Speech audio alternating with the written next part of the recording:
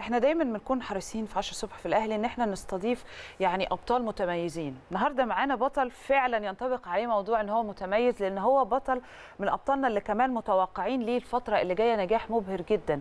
استطاع إن هو يحقق الرقم عالمي وحصده الثلاث ذهبيات في رفع الأثقال في بطولة العالم تحت 17 سنة ولسه كمان بطولة العالم للكبار جاية بإذن الله. منورنا كابتن محمود حسني. صباح الفل وإيه الكلام صباح. العظيم ده؟ إيه إيه اللي. إحنا شايفينه ده؟ بجد برافو عليك. ربنا يخليك. منورين منورنا في القعدة وسعداء بيك جدا جدا جدا الحقيقة يا محمود. وعايز أقول لك قبل ما ندخل بقى معاك في الحوار ونتكلم ونسألك وكده عايز أقول لك إن أنت نموذج للي إحنا كنا بنتكلم عليه أنا ونهاوند في الجزء الأولاني من حلقتنا النهارده فكرة إن إحنا عندنا أبطال في كتير من الأحيان بالقدر الأقل من الإمكانيات بيعرفوا يعملوا شغل. أنا ليه بقول لك الكلام ده؟ وانت بصفة خاصة لأن انت كمان في الفترة الأخيرة انتشرت لك مجموعة فيديوهات وانت بتتمرن على سطح البيت. والحقيقة في ناس كتيرة جدا جدا أشادت بده وبإصرارك وكفاحك. اللي وصلك في نهاية المطاف إن انت طالب سنة تانية ثانوي انت عندك ثانوية عامة جاية السنة الجاية إن شاء الله صح كده؟ محقق. ثلاث ميداليات في بطولة عالم لرفع أثقال. فاولا مبروك وثانيا انت نموذج مشرف وثالثا عايزين نعرف بقى منك بداية رحلتك مع رفع الأثقال جت إمتى وإزاي؟ بدايتي كانت من خمس سنين وبدايتي كانت في رفع أثقال اللعبة دي بالذات لأن كانت عيلتي كانت بتمارس الرياضة دي فهم اللي خلوني ألعبها وحببوني فيها. ومع الوقت طبعا دخلت المعسكر وكان الموضوع مهم جدا بالنسبة لي ده كان حلمي الصغير إن أنا أبقى في المنتخب المصري. بعد كده طبعا لعبت بطولة العالم باليونان كانت أول مشاركة ليا دولية فكان الموضوع صعب بالنسبة لي أول مشاركة تكون بطولة عالم. طبعا. ف... طبعا. حاجة تخض لوحدها دي. أكيد طبعا. وكمان تحت 20 سنة فما كانش سني. okay. فالحمد لله قدرت أحقق فيها اتنين فضة. وبعديها بشهر بالظبط لعبت بطولة عالم في المكسيك تحت 17 سنة ودي كانت سني فما كنتش عايز. فما كنتش عايز أسيب ال- المرحلة دي غير لما أسيب فيها علامة ليا أنا. هايل. طب محمود إحنا عايزين نمشي معاك خطوة خطوة. مبدئيا أنت ابتديت كان عندك تحديدا كام سنة؟ وابتديت أول بطولة كان عندك كام سنة؟ وحققت فيها إيه؟ يعني خلينا نبدأ من الرحلة من أولها عشان برضو الناس تبقى متابعة. هي أول أنا ابتديت من وأنا عندي 12 سنة. أول بطولة كان عندي 13 سنة كانت بعدها بطولة على الجمهوريه طول؟ يعني ابتدى وبعدها بسنة؟ لا. طب ده إزاي برضو؟ صعبة دي. ما هو الموضوع كان صعب بس الحمد لله كنت كويس شوية. مم. فلعبت بطولة جمهورية تحت 15 سنة كان لسه عندي 13 فجبت تالت جمهورية. حلو وفي نفس. السنة برضو كان في بطولة تانية وجبت برضو تالت. بعد كده كنت بجيب أول. حلو عظيم ما. شاء الله عليك. بس آه. على فكرة أنت بتقول ابتديت وأنت عندك 12 سنة. في أولياء أمور وأهالي ممكن يبقوا عندهم أولاد في نفس السن ده بس عندهم انطباع خاطئ بأن الرياضة دي لا تصلح للمرحلة العمرية دي وأن العظم مش عارف لسه لم يكتمل إيه ونمو إيه. فأنت فسر لنا الحكاية دي. هل غلط إن واحد يبتدي رياضة زي رفع الأثقال في سن مبكرة بالشكل ده؟ لا ملهاش علاقة على فكرة بالطول أو كده لأن أنا برضو كنت خايف بس بقى جيت ابص للأبطال وكده. لا في ناس كتير طوال جدا بيلعبوا رفع اثقال ومفيش أنا مش بتكلم مشكله على الطول أنا بتكلم على السن الصغير. لا السن ملوش علاقة برضو علاقة. ده بالعكس ده طول ما أنا ببدأ بدري بتبقى الفرصة بالنسبة لي أحسن إن أنا أبقى كويس فيها. لما كو- طول ما السن يبقى صغير بتبقى الفرصة أكبر. فالموضوع بيبقى أحسن لكن يعني. مفيش أي مخاطر صحية على على على طفل في السن ده يلعب رياضة بالشكل ده مش كده؟ طبعا هو المفروض برضو يبقى معاه طبعا مدربه لازم يكون فاهم ما ي... ما ياخدش حاجات في الوقت ده ما- يحاول قد... على قدر الإمكان يتمرن بمجهوده بس في الفترة دي لأن هو لسه صغير على الكلام ده كله الاحمال كمان علشان ما ما يحصلش أي إصابات. هو. لازم يكون مدرب فاهم طبعا عشان يعرف يحقق معاه إنجازات انت انضميت للمشروع القومي للموهبة في الأثقال ده 2020 صح كده؟ طيب آه، قدمت إزاي؟ وبرضو تم اختيارك إزاي؟ خلينا نعرف أكتر عن المشروع ده. وأنا كنت في الأول بلعب في نادي الكهرباء فلما سمعت ناس كتير اتكلمت على موضوع المشروع والمشرف عليه يعني سيادة ال- الوزير وسيادة الرئيس فكان الموضوع كويس وناس كتير شجعتني إن أنا أبقى في المشروع فحبيت الموضوع وقدمت وكده وطبعا واتقبلت إن أنا كنت ساعتها برضو حصل على ثلاث جمهورية مرتين فكان الموضوع أسهل شوية. آه. وطبعا لما دخلت في المشروع كان الموضوع أحسن يعني. بيقدم إيه المشروع برضو عشان الناس تبقى عارفة؟ طبعا الماديات ومعنويات كان ككل حاجة كان كل حاجة متاحة في المشروع. يعني بيبقى فيه دعم مادي بيبقى فيه اهتمام بيبقى فيه متابعة بيبقى فيه مدربين. ده يعني آه لازم الموضوع ده. ده ويصب في الآخر في في فكرة مشروع آه، الأبطال المستقبليين فدي حاجة حاجة حلوة قوي على فكرة من ضمن الحاجات اللي برضو مرتبطة بيك عند ناس كتير وأعتقد يعني أنت سمعت من خلالها تعليقات لطيفة كتير النضارة. إيه حكاية النضارة معاك؟ وطبعا النضارة دي الموضوع مختلف شوية بالنسبة للناس. أنا أول مرة أشوف حد بنضارة بيلعب أوكي. رفع أثقال. فهو النضارة دي نظر فهو غصب عني. آه. أنا ما ما كنتش حابب ألعب بيها بس هو غصب عني عشان نظر وكده وفي الأول طبعا ما كنتش بعرف ألعب بيها لأن كانت بتسبب لي إعاقة وكده في التمرين. فكان الموضوع صعب. بس بعد كده بدأت اتعودت عليها ما كانش ينفع ما ألعبش من غيرها. فتعودت عليها لغاية ما وصلت ألعب بطولات دي. جابت معاك ثلاث ميداليات في بطولة انت عالم ممكن تجيب النضارة أمارس. اللي هي من ورا بتتربط وممكن بعد كده تعمل العملية بتاعه الليزك ممكن تركب lenses شفافة. يعني في options عندك مش مشكلة يعني. لا هو. عادي. هو عادي أو اتعودت كمل عليه. كده آه وخلاص بالعكس ده هو اتشهر بيها كمان. آه. ده هو اتشهر بيها. طيب آه، فكرة هنا انضمامك كمان لمنتخب مصر بقى في 2021 الخبر ده جالك إزاي؟ وفي نفس الوقت أنت كان حلمك إن أنت أكيد تنضم لمنتخب مصر. الخطوات اللي جاية يعني عايزة كل ما يدور حول منتخب مصر. تحكي لنا عنه يا محمود. وطبعا جالي الخبر بعد ما أنا جبت أول جمهورية بعديها اللي أنت تنضم للمنتخب وكده. طبعا أنت جدا. بقى. فطبعا فرحت جدا وكده. يعني ده كان حلمي. فطبعا ال- العزيمة عندي بقت أكبر. الإصرار بقى أكتر. فالموضوع الموضوع كبير التشالنج عمالة تزيد التحدي عمال يزيد الناس بقت تعتمد عليك فيعني موضوع محتاج منك كمان زي ما بتقال استكمال للنجاح لأن أنت وصلت للنجاح والنجاح غير مسبوق بصراحة ما شاء الله بس عندك لسه آه، زي ما بيتقال كده رحلة أطول وأصعب. خلينا نقولها بهذا الشكل كمان لما هنتكلم على أولمبياد باريس 2024 لسه اتقل. جايين لك في ده. طب انت هتعمل إيه في الدراسة مبدئيا آه. بالبطولات دي كلها وباريس صحيح وغيره؟ هتعمل إيه في المذاكرة؟ طبعا في امتحانات كنت بأجلها. أنا ال- الفترة بتاعت المكسيك أنا كان في في فترة اليونان كان في امتحانات طبعا وقت امتحانات وكده آه. فأجلت الامتحانات. وهم وافقوا في في كده. تفاهم يعني آه، إن- لا، في تفاهم بطل بصراحة من الوزارة. البلد يعني. هو في تفاهم من الوزارة والموضوع كان سهل ولما رجعت من البطولة امتحنت على طول. جميل. حلو جدا. طب تعال نروح للجانب العائلي شوية. آه، أنت قلت لنا إن عندك في العيلة already كانوا بي بيمارسوا نفس الرياضة فأنت طلعت زي حاجة وراثية. بس أكيد بيبقى في دعم أكيد في تشجيع. مين أكتر حد بقى عندك في البيت بيشجعك؟ قصة الدراسة معاه مش فارقة قوي على قد ما عايز يبقى محمود بطل. مصر ويحصد لنا كمان ميداليات في الأولمبياد بإذن الله تبقى تكون ذهبية. هو طبعا كان في نظره لكذا حد مثلا خلاني وكده لا الرياضة كانت أهم طبعا.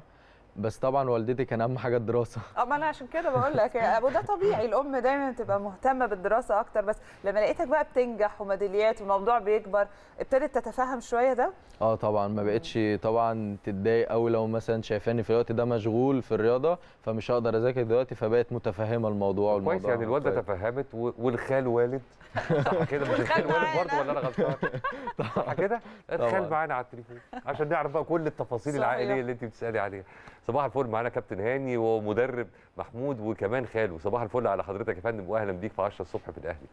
صباح الفل يا فندم صباح الفل صباح الفل مليون مبروك طبعا ال ال ال النجاح ال- المدوي والمشرف اللي بيحققه محمود. وعايزين نعرف منك بقى كواليس صناعة هذا البطل عاملة إزاي؟ الله يبارك في حضرتك. والله هو إحنا يعني محمود آه، ما شاء الله موهوب من صغره يعني. هو حد ملتزم كويس ملتزم جدا يعني. وهو طول عمره بيحب الرياضة طبعا عشان البيت عندنا كله الأسرة رياضية وكده. فكان دايما آه، آه، في كان في بار عندنا في البيت وكده. وكان دايما بيتمرن بقى ببار صغير كده. وحتى هو طفل صغير يعني في بار 7 كيلو كده كان عندنا وبيتمرن بيه حاجات بسيطة كده. لقينا إن الموضوع لما كبر بقى شوية بدأنا إن لازم نمرنه وكده. فأخويا الكبير عنده مصنع وكده فاشترينا حديد بيشيل المصنع و- ولا إيه؟ نعم؟ بقول لك بيشيل المصنع ولا إيه؟ ما واضح إن السبعة كيلو مش كافيين مع محمود.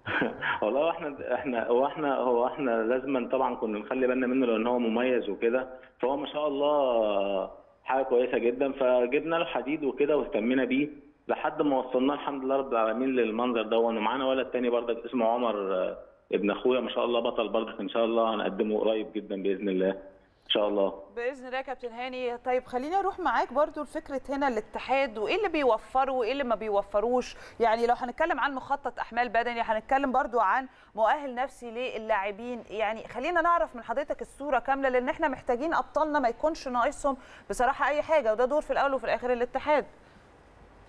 هو الاتحاد ماشي معانا كويس جدا وهم هم بقالهم معاهم هم من ست شهور كده ولا حاجة هو راح معاهم. والفترة اللي فاتت دي كلها بقى كان معانا إحنا بيتمرن معانا وكده وإحنا مواظبين معاه و...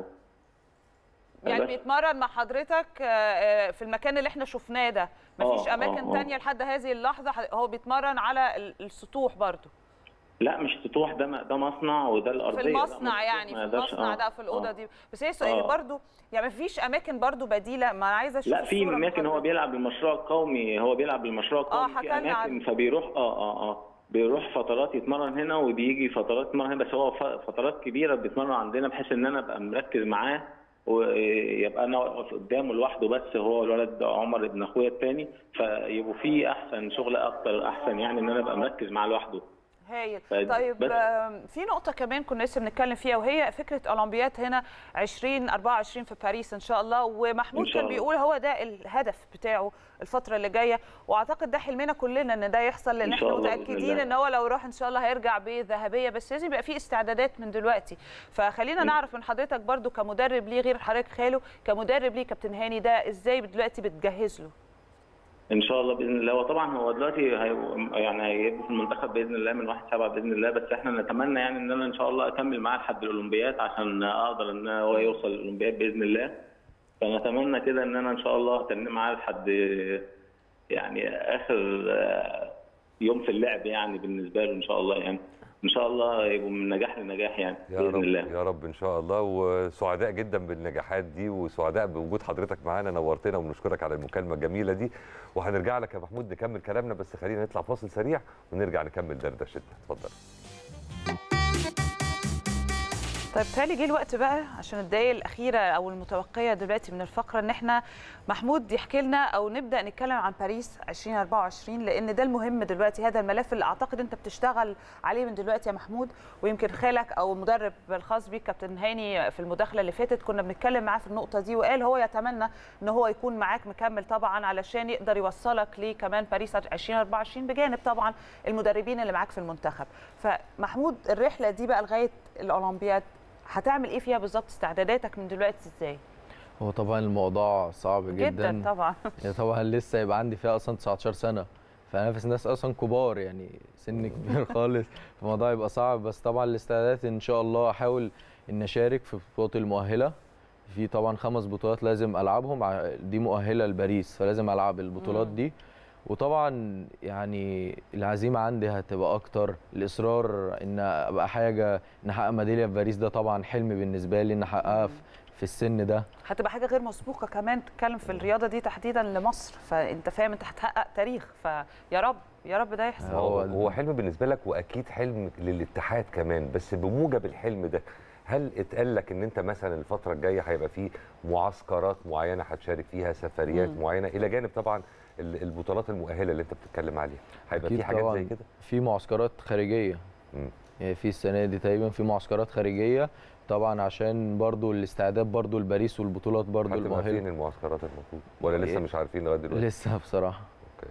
ففي معسكرات عشان برضو بطولة العالم الكبار مم. في شهر 12 فطبعا دي بطولة مهمة جدا برضو طبعاً، بالنسبة لنا طبعاً. كلنا أكيد. هو كله مهم الحقيقة يا محمود مفيش حاجة مش مهمة. لا بس هي أهمهم بطولة العالم الكبار دي وفي بطولة عالم برضو السنة الجاية كبار بعد كده الأولمبياد. دي الأهم ثلاث بطولات الفترة دي. فدول اللي هنركز عليهم يا رب. بص أنت بطولة العالم للصغار الحمد لله عدت ونجحت فيها بذهبية. بطولة العالم للكبار خلاص قربت إن شاء الله برضو تحقق فيها ده بس أكيد هيبقى التشالنج مختلف لأن أنت هتخش في أعمار تانية قدرات تانية برضو تحديات تانية. فإزاي برضو بتشوف إن دي ممكن محمود يعدي منها أو هيبقى فيها مشكلة مين أكتر دولة خايف منها برضو؟ خلينا نبقى عارفين. وطبعا ال- ال- الفرق بيني وبينهم كبير. فأنا هحاول على قد ما أقدر إن الفرق يقل طبعا وإن أقدر أنافس معاهم. وطبعا أهم المنافسين طبعا مم. ال- ال- الإيطالي. الإيطاليين. الإيطاليين طبعا لأن هو لسه عامل رقم عالمي في الكبار فدي أهم منافسة. كام بقى الرقم اللي حققه 217 أوه رقم برضه. طيب. رقم جدا. وأنت هتستعد للرقم ده إيه بقى؟ يعني من دلوقتي إزاي؟ طبعا في منافسين برضو معايا هنا في مصر بس طبعا احاول على قد ما أقدر إن أقرب منهم جدا يعني يبقى المنافسة بسيطة خالص. مم. فإن طب شاء الله أقدر تقرب منهم. لازمك حاجة معينة من الاتحاد لازمك شيء معين من الوزارة. وطبعا لازم الدعم يزيد وكده بس ده طبعا اتكلم فيه سيادة الوزير وإن شاء الله يعني هم ماشيين في الإجراءات دي. إن الدعم والاهتمام هيزيد أكتر. فإن شاء الله الموضوع هيبقى أسهل. طيب بص إحنا الوقت بيخلص فعايزين بس إحنا أنا وكريم بنحاول على قد ما نقدر إن إحنا نطمن من خلال أسئلتنا عن محمود و... والوضع بتاعه كل ما يلزمه. كمان السادة المشاهدين يكونوا عارفين. طيب بالنسبة برضو النظام الغذائي بتاعك انت معاك دكتور متكفل بده ولا لأ؟ بيهتم بالنقطة دي ولا لأ؟ بجانب طبعا التدريبات. آه، فكرة هنا الدعم النفسي برضو مهم جدا لأن انت مش كل بطولة هتدخلها ممكن تفوز ممكن تحقق اللي انت عايزه. فهنا بيحصل مشكلة شوية إن انت ترجع مرة تانية تعاد الثقة فيك. أو فكرة إن انت رايح تلاعب ناس اعمار تانية خالص ف it needs help زي ما بيتقال. آه، الحاجة الثالثه برضو إيه اللي ناقص من خلال 10 الصبح في الأهلي رسالة أخيرة لو حابب توجهها لحد؟ لأن تقريبا فاضل دقيقة فممكن برضو من خلالنا توجهها للي انت عايزه. وطبعا في دكاترة يعني الاتحاد خلاص بقى في دكاترة موفرهم. آه موفرين الموضوع ده وفي طبعا مدلكين فهو دي كانوا أهم حاجة. كويس. وتوفروا الحمد لله هايل. تمام. فالموضوع بقى أحسن يعني الحمد لله. طب إيه؟ والنظام الغذائي صحيح؟ أكيد في ناس برضو عندها فضول تعرف.